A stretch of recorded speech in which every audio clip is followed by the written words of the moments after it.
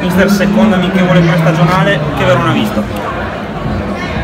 Ballato? No, bene, eh, pesantito, però con, una buona, con una buona, un buon atteggiamento da parte di tutti, di voler fare delle cose nonostante la fatica, nonostante la stanchezza e sono contento, mi dispiace solo dell'infortunio di Antonio Caraccio.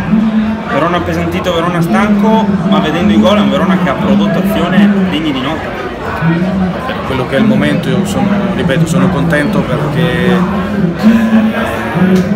veniamo da carichi importanti e oggi comunque nonostante questo abbiamo voluto, abbiamo provato a giocare sempre anche in velocità e voler andare a aggredire sempre e di questo sono fortemente convinto che sarà un'arma importante per tutta la, stagione un'altra settimana da vivere qui a Primiero è un Verona che non la vivrà purtroppo, la vivrà purtroppo senza Bianchetti, un augurio in bocca al lupo anche al difensore giallo. Un abbraccio forte da parte di tutta la squadra, ma è questo, il contatto è continuo con Matteo da parte dei compagni, da parte del sottoscritto e sono convinto che si riprenderà quanto prima e si riprenderà più forte di prima. Esordio del primo minuto mister per Artò, Thomas Artò è arrivato qui a Verona, un ottimo rinforzo per la tua difesa.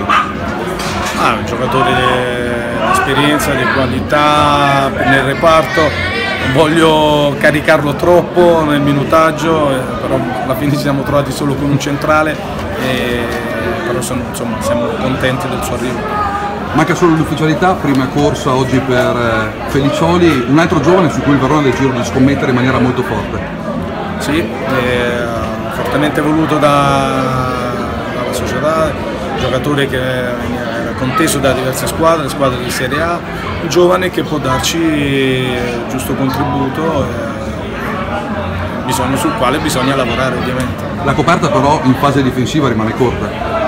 Eh, eh, a livello numerico è chiaro, in settimana dovrebbe, dovrebbe arrivare a Ferrari e chiaramente già andiamo a, però anche in questo modo siamo corti, ripeto, spero che la situazione Caraccio non sia nulla di grave sia una cosa di, di poco conto. Intanto però eh, gli abbonati continuano, oltre 3.000 abbonamenti già rinnovati, insomma l'amore per l'Elas eh, non conosce limiti.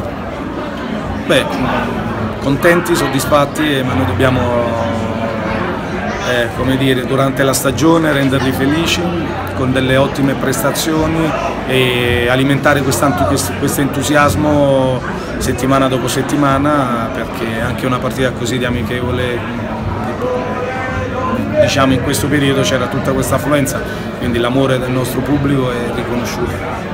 Prossima settimana, appunto ultima di ritiro, si chiuderà con l'amichevole contro i Trapani. Ho visto che prima parlare con il presidente Setti, il direttore sportivo Fusco, gli ha chiesto qualcosa in particolare?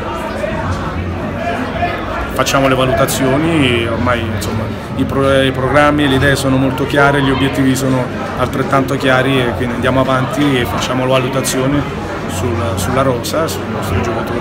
Salutato Luca Siligardi, eh, si parla anche di Lupi che potrebbe andare a Foggia, oppure per te Davide è meglio che rimanga a Verona?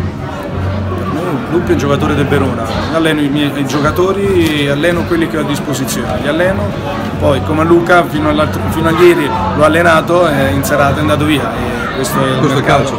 No, questo è il mercato, così per il momento Lupi è un nostro giocatore, lo alleno e sono contento di come si sta, si sta allenando. Cassano ha regalato buone giocate e Cerci invece accusa a fare un problemino al ginocchio. Nessun problema. Hai parlato con, con, qualcuno? No, l'ho visto camminare, no, non mi sembrava con una postura molto, molto buona. Sarà una sua postura e so Alessio, ma con tutti i nuovi voglio essere eh, molto cauto, quindi l'inserimento deve essere graduale perché che vengono da un periodo di, di inattività perché bisogna fare molta attenzione, ma sono contentissimo perché nonostante i carichi di lavoro anche oggi hanno provato a fare quelle poche cose sulle quali abbiamo lavorato in questi pochissimi giorni.